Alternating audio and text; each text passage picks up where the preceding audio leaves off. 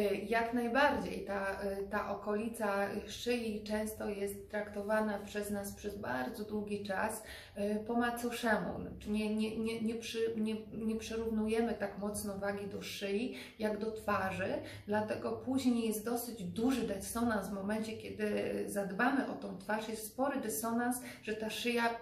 nie, nie pasuje już nam do ładnej, odmłodzonej buzi. Dlatego trzeba pamiętać przy myśleniu o, o medycynie medycynie estetycznej, przy myśleniu o medycynie estetycznej regeneracyjnej, o tym, że no, oprócz twarzy mamy też szyję, mamy dekolt, mamy dłonie, ale ta szyja jak najbardziej może być poddana większości zabiegów, które są dostępne, więc jakby urządzenia oczywiście musimy tylko pamiętać